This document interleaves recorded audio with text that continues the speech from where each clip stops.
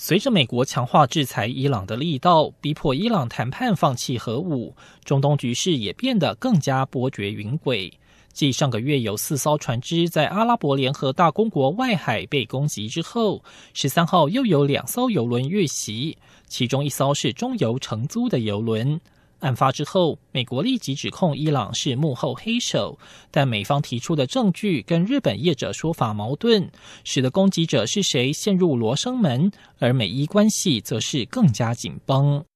这次在阿曼湾遇袭的两艘油轮，分别属于挪威和日本公司，地点靠近伊朗南侧的国际能源运输干道和莫兹海峡。由于全球每天约有六千万桶石油制品行经阿曼湾，其中约三分之一必须通过荷莫斯海峡。攻击消息一出，油价闻讯上扬。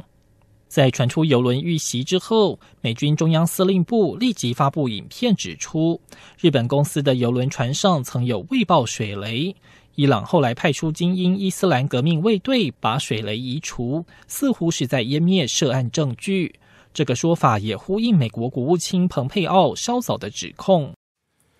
No economic sanctions entitle the Islamic Republic to attack innocent civilians, disrupt global oil markets, and engage in nuclear blackmail.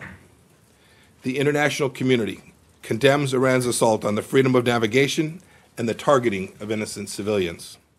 不过，除了伊朗否认美国的指控，遇袭的日本邮轮业者也引述船员说法表示，游轮是遭到从上方飞来的物体攻击，似乎不是水雷、鱼雷袭击的结果。除了十三号的攻击事件，美国也指控伊朗是五月份阿联外海四艘船只遇袭的幕后黑手。就在日本游轮遇袭的同时，作为美国紧密盟友的日本首相安倍晋三正在德黑兰访问，试图担任美伊之间的调停人。但在最新游轮攻击事件之后，美伊两国的紧张关系难有缓解的迹象。央广编译杨昭燕报道。